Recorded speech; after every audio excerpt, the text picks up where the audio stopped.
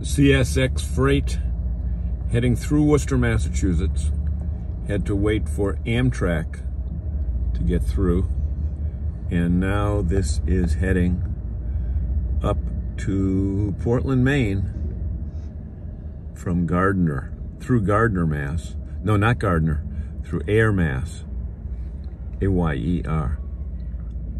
It's a big one. Let's catch it as it moves.